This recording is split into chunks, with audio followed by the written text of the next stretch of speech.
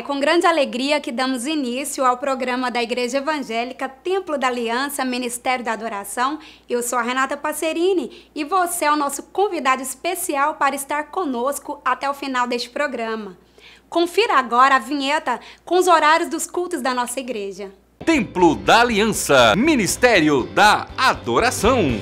E agora acompanhe os novos horários dos nossos cultos. Segunda-feira, às 19 horas, culto de oração em busca pelo Espírito Santo.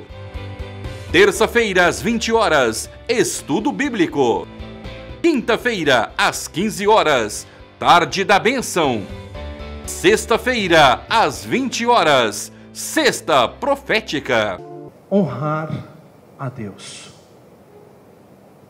Paulo, quando escreveu a carta aos Romanos, no capítulo 3, versículo 7, ele encerra dizendo: honra, dai honra a quem tem honra. A igreja tem que saber para onde ela vai. Por isso nós não desistimos. Na diversidade nós somos abençoados. Na alegria nós somos abençoados. Nós somos abençoados o tempo todo, porque Deus é bom. Sábado à meia-noite, venha participar de uma poderosa vigília. E domingo às 19 horas, culto de louvor e celebração a Deus. Templo da Aliança, Ministério da Adoração, Avenida C 197, quadra 498A, lote 25, Jardim América. Telefone 3091 6761. Você acompanha os horários dos nossos cultos e eu te convido a estar conosco. E esse mês temos uma programação especial culto de mulheres no dia 25 de maio. O tema é Mulheres de Influência. Esteja conosco você é mais do que convidado. Amém? Estamos nos preparando também para um grande encontro que teremos nos dias 14 e 15 de junho, encontros de homens e mulheres, e você é o nosso convidado especial. Os ministrantes serão Rodolfo Abrantes e Alexandra Abrantes. O tema é A Terceira Dobra. Para quem não conhece a vida do irmão Rodolfo Abrantes, ele é o ex-vocalista da banda Raimundos e Deus fez grandes obras na vida dele e também quer fazer na sua. E agora eu convido o irmão Gabriel Gabriel Aquino para trazer a palavra do Senhor para nós. A paz do Senhor Jesus. Temos da parte de Deus uma palavra para nossas vidas, para nossos corações. Estejamos então de corações abertos para o que o Senhor tem a nos dizer nesta hora. Amém? E está no livro de Isaías, capítulo 55, a partir do versículo 8, e o Senhor diz assim: Afinal, os meus pensamentos não são os vossos pensamentos, e os vossos caminhos não são os meus caminhos, afirma o Senhor. Assim como os céus são mais altos do que a terra, também os meus caminhos são mais altos do que os vossos caminhos, e os meus pensamentos mais altos do que os vossos pensamentos. Como a chuva e a neve descem dos céus e não retornam para eles sem regar a terra e fazerem-na brotar e florescer, a fim de que ela produza sementes para o semeador e pão para os que dele se alimentam, assim também acontece com a palavra que sai da minha boca. Ela não voltará para mim vazia, mas realizará toda a obra que desejo e atingirá o propósito para o qual a enviei. O Senhor, aqui, através do profeta, fala um pouco a respeito de si mesmo, dizendo quão grandioso ele é. Nós conhecemos também que que Deus nos fala que os pensamentos dele a nosso respeito são todos de paz, para nos dar um futuro melhor, para nos dar o fim que nós desejamos. E é um fato que o seu desejo e também o meu é que nós vivamos a perfeita vontade de Deus, que nós conheçamos a perfeita vontade de Deus. E o maior desafio do ser humano é exatamente andar nos retos caminhos do Senhor. É exatamente viver tudo que Deus planejou, projetou, tudo que Deus pensou. É andar nos caminhos do Senhor.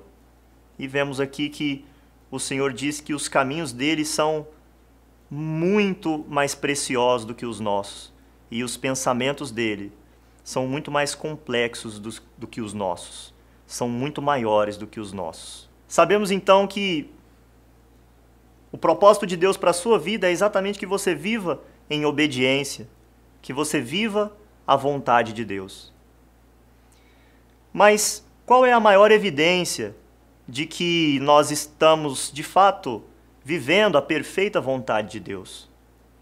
Como é que você sabe que você está andando bem, que você está andando correto, que a sua vida está completa, está íntegra nos caminhos retos do Senhor? Nós podemos até ouvir muitas pessoas dizendo: Olha, eu estou vivendo a perfeita vontade de Deus para a minha vida. E de fato é, é muito fácil você e eu dizermos que nós vivemos o que Deus preparou para nós, simplesmente porque estamos felizes ou porque conquistamos coisas aqui na terra, porque atingimos alguns objetivos. Mas eu quero te trazer à luz da Bíblia as evidências dos homens e das mulheres que viveram a vontade de Deus, que andaram na vontade de Deus. Nós conhecemos o testemunho e a vida de muitos profetas, vidas relatadas na Bíblia. E convenhamos, a vida dessas pessoas não era uma vida fácil, não era uma vida normal, não era uma vida que a princípio todos desejavam ter, desejavam viver. Nós sabemos que muitos profetas, muitos servos de Deus, passaram por diversas aflições. O salmo ainda nos diz que o justo ele passará sim por muitas aflições, mas que certamente o Senhor livrará estes justos de todas essas aflições. Saiba então que viver a perfeita vontade de Deus não significa que você não viverá aflições, que você não passará por tristezas. E você sabe bem as tristezas pelas quais você passa, as tristezas com as quais você tem que viver diariamente. E ainda nós temos que nos perguntar: Senhor, o que, que eu estou fazendo de errado para estar tá vivendo dessa forma? O que, que eu fiz para merecer passar essa dificuldade, essa caristia, para experimentar essa tristeza no peito, Será que eu fiz algo tão ruim para o Senhor que eu mereça essa, esse castigo, essa culpa? E eu quero te dizer que não. Eu quero te dizer que a Bíblia não diz assim. Na carta que Paulo escreveu aos Coríntios, a segunda carta, no capítulo 7 e no versículo 10, ele nos ensina o seguinte: a tristeza conforme o Senhor não produz remorso, mas sim uma qualidade de arrependimento que conduz à salvação. Porém, a tristeza do mundo traz a morte. Neste capítulo, inclusive, ele diz que muitas vezes é pela própria vontade do Senhor que nós passamos por algumas tristezas, que nós somos entristecidos. E neste versículo nós vemos que por vezes, tristezas a que somos acometidas, a que somos acometidos, elas vêm do próprio Deus, para que através delas nós alcancemos um verdadeiro arrependimento para a salvação, nós tenhamos o coração melhorado. O livro de Provérbios diz que a tristeza ela acaba melhorando o coração. Veja então que nem toda tristeza da sua vida está te levando à morte. Veja que muitas tristezas elas podem podem ser permitidas pelo próprio Deus para que o seu coração seja amolecido, seja se torne maleável, para que Deus mesmo molde o seu coração e o seu caráter.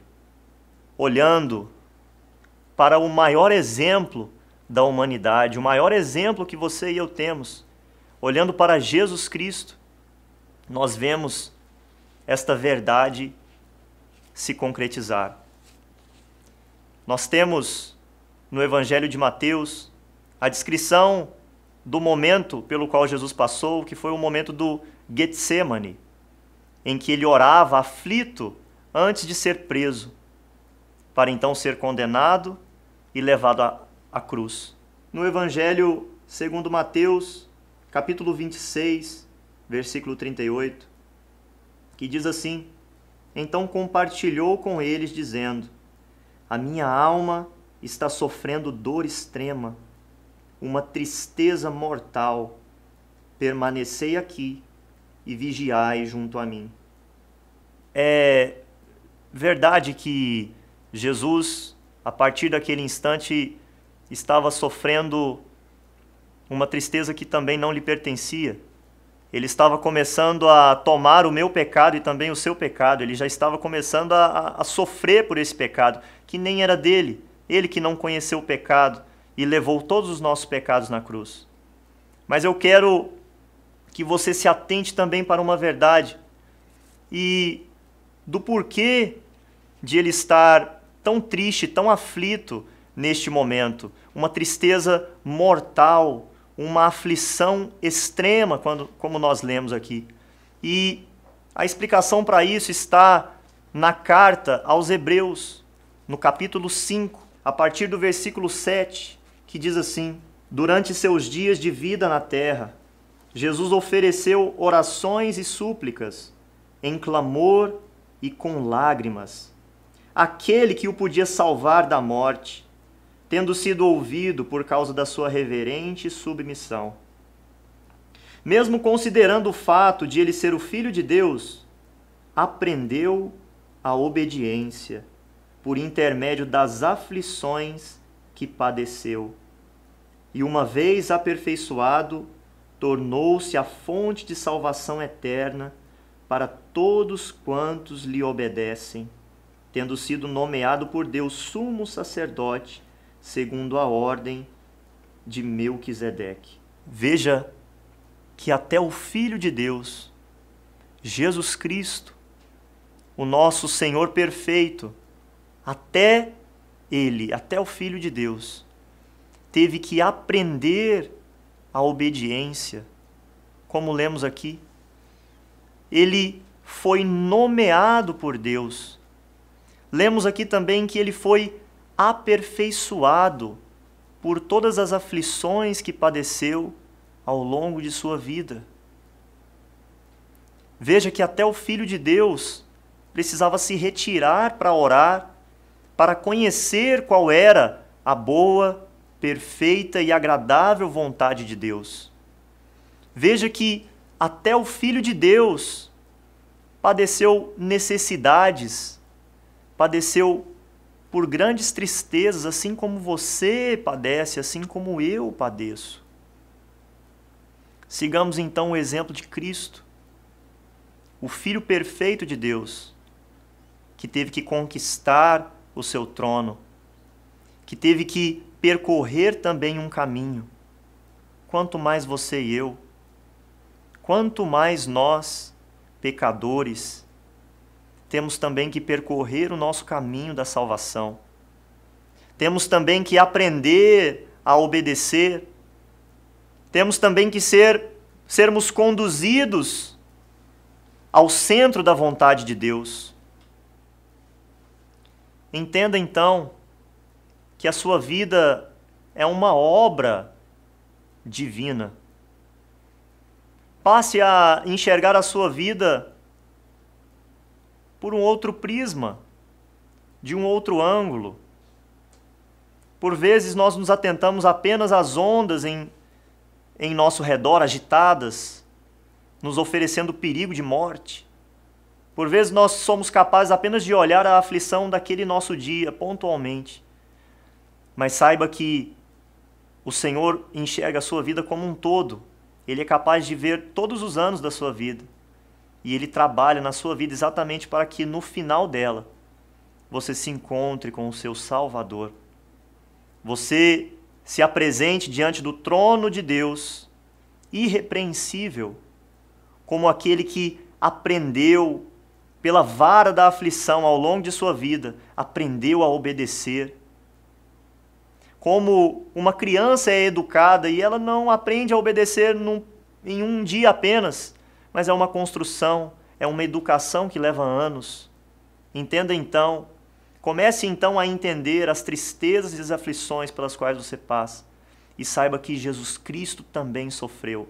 E não somente para levar pecados na cruz, mas ao longo de sua vida ele sofreu e padeceu para que se tornasse o seu rei, para que se tornasse o Senhor, para que se tornasse o autor da nossa salvação, o autor da nossa fé.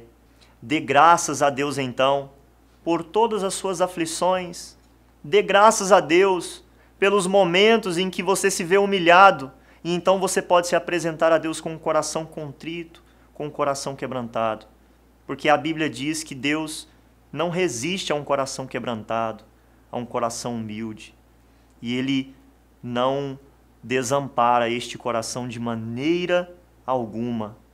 Dê graças a Deus então por todas essas aflições, que nós possamos, assim como o apóstolo Paulo declarou, possamos declarar também, dizendo: Mas não somente isso, como também nos gloriamos nas tribulações, porque aprendemos que a tribulação produz perseverança.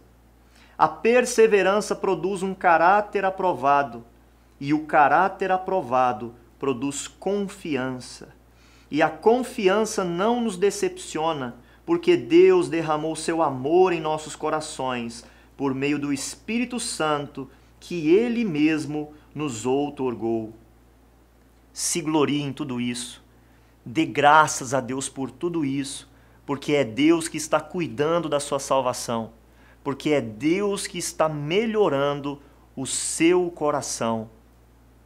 Vamos então dar graças a Deus e orar neste momento, e eu gostaria que você orasse comigo nessa hora. Soberano Deus, aprendemos pela tua palavra que o Senhor libera a tua palavra e ela não volta vazia para o Senhor, mas ela cumpre todos os propósitos para o qual o Senhor a liberou. Sabemos então que o Senhor faz exatamente o que o Senhor quer. Sabemos então que tudo que acontece nesta terra é um propósito do Senhor para que as Escrituras se cumpram para que as revelações se cumpram. Que nós estejamos então no centro da tua vontade, que nós façamos parte então do povo que vê a tua glória, que participa do reinado de Jesus Cristo, que segue o seu exemplo. Queremos seguir o exemplo de Cristo e assim como ele nos ensinou, que se o Mestre padeceu, quanto mais os seus discípulos. Então, eis-nos aqui, eterno Deus, para seguir os passos de Cristo. E enquanto seguimos as suas pisaduras, que por elas nós sejamos curados, nós sejamos, soberano Deus, curados deste mundo, libertos deste mundo, que as nossas feridas, abertas pelo pecado, abertas pelo ser humano, abertas pelos traumas, abertas pelo nosso passado, que queremos esquecer, que essas feridas sejam curadas. E que então desfrutemos da vida abundante que Jesus Cristo dá. Nós te damos graça por todas as tribulações, te damos graça pela maneira como o Senhor tem tratado o nosso coração, para que sejamos melhores, para que tenhamos um caráter melhor. Nós, uma vez, reconhecemos Jesus Cristo como nosso Senhor, sim, e a partir de então, nós começamos uma caminhada com Ele, caminhada de reeducação, caminhada de purificação, de justificação, e estamos caminhando rumo ao alvo. Amado Salvador, dá então força a este coração que está comigo, dá então vigor e ajuda esta vida a perseverar no Senhor, não olhando para trás, mas olhando para frente e ainda que com lágrimas, meu Deus, te glorificando, crendo que o Senhor é Deus e não falhará. Soberano Deus, derrama sobre nós graça e glória e dá-nos poder, dá-nos, soberano Deus, a unção sobre nossas cabeças que precisamos para seguirmos em frente, para vivermos vida abundante em Jesus Cristo. Amado Senhor, e é no nome de Cristo que nós oramos, te louvamos, te bendizemos, nós te agradecemos, eterno Deus, em nome de Jesus. Que o Senhor te abençoe e que você não volte atrás, que você persevere, seja o que você estiver vivendo, não olhe atrás siga rumo a Jesus Cristo. Não retroceda, não se permita ficar estagnado. Não perca as forças, se renove em Deus, se renove na Sua palavra, em nome de Jesus. A paz do Senhor. Hey, aleluia. A ditosa cidade deve ser linda Se eu pudesse, eu iria pra lá agora. Veria o Senhor frente a frente, cantaria naquele imenso coral, cantando as anas ao Rei em breve esse meu pensamento será realidade, pois para lá voarei.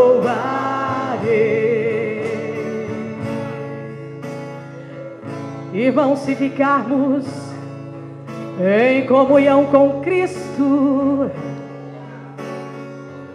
Naquela linda cidade nós iremos morar. Veremos anjos e querubins ali reunidos,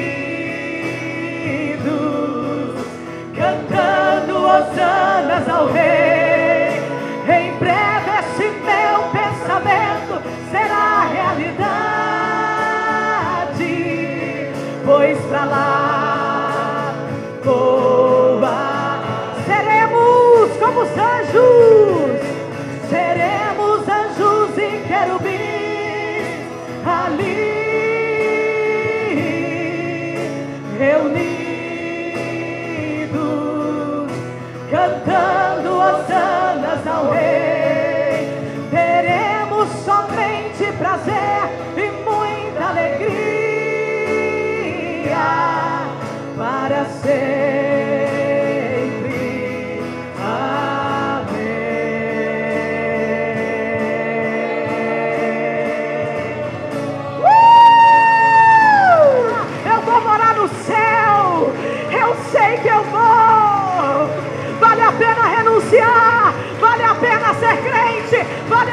chorar, vale a pena padecer. Uma glória muito maior nos aguarda. O canaba chorava, cadaraba sei, oriamanaba choialai.